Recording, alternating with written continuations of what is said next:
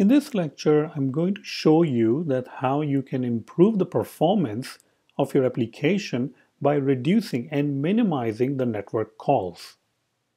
Now, if you go to the story list view, you can see that we are building a list. Inside the list, we have a navigation link.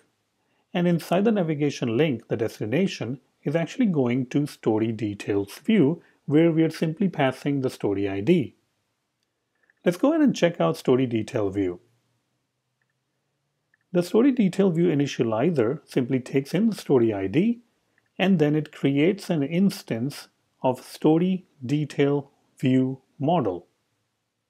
Once it creates a story detail view model, if you go to the story detail view model, it not only assigns the ID to the story ID property, but it also starts making the request.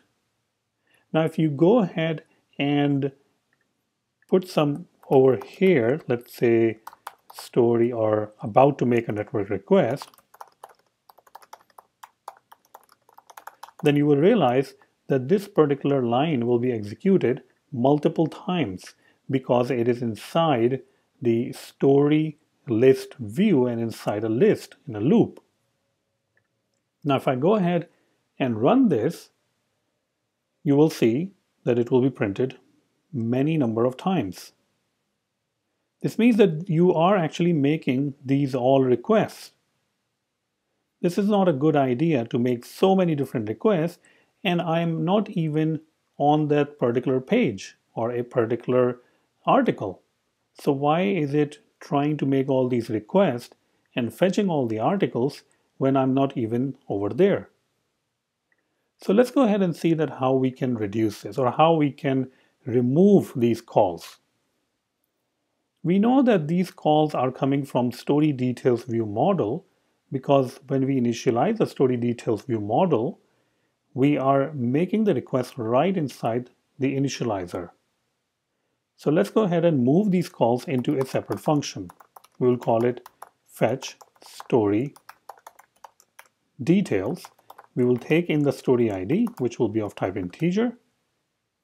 And we can actually pass this one, all of this, into the next function. There we go.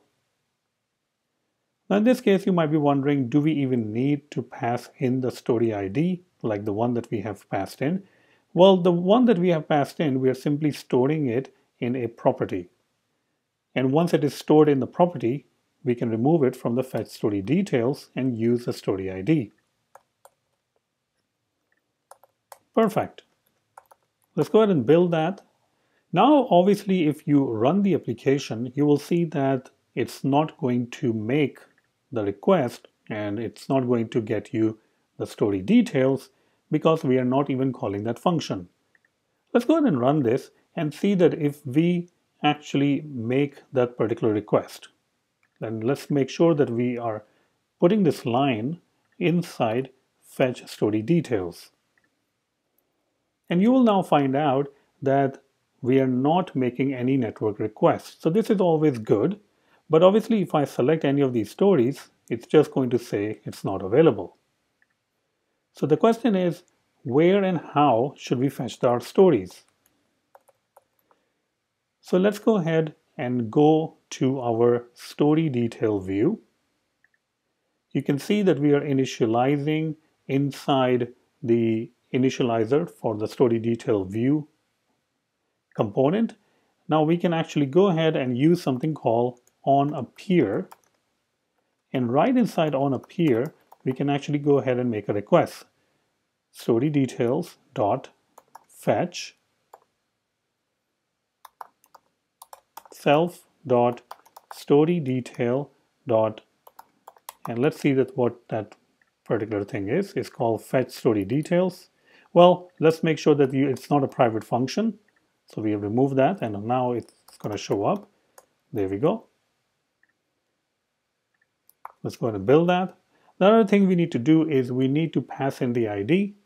We don't have access to the ID over here in the story details, so we can go ahead and create something called a story ID, and we can initialize it right here. Self.storyid equals to story ID.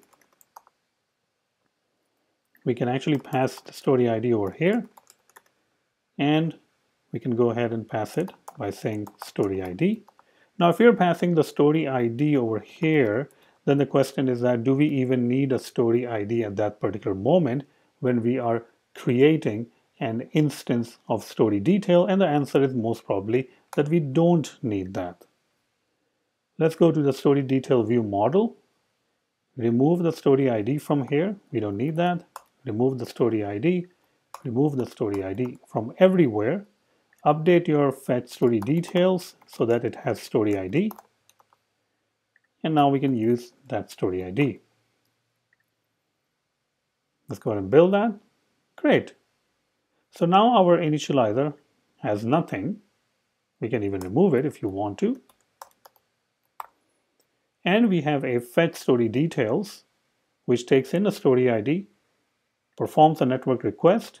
Once the request comes back, it gives the story, assigns the story to the story property, which publishes the event, and the story detail view gets re-rendered once again. Let's go ahead and try it out. I'm going to go ahead and run the application. And I'm going to go and click on any of these stories. Okay, so this part is working fine. It is able to fetch the story, but it again says page not found. And even though I'm clicking on a particular story, it's always saying page not found. Now we do get the URL because we are passing the URL to our web view, but there is definitely something wrong with our web view because it's not able to update itself. If you go ahead and check the web view, you can see that we haven't really done anything with the actual update UI view function.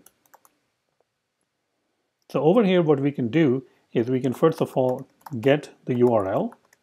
So URL string self.url if the URL is incorrect, then we are not going to do anything.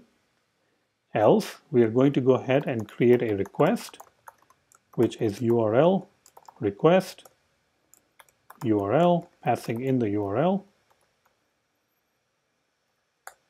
And then we can go ahead and say UI view dot load a particular request, which we have. And let's go ahead and build our application. So what we're doing is that once you provide the updated property, updated URL, the update UI view function is going to get executed and it's going to allow us to reflect the latest changes in our web view. Let's go ahead and run this. And let's go ahead and click on the first one. So you can see the title being displayed and here we go, the actual article is also being displayed. And if you look over here in the network, you're only making one network call to the article that you just got selected. Let's go back, select some other article.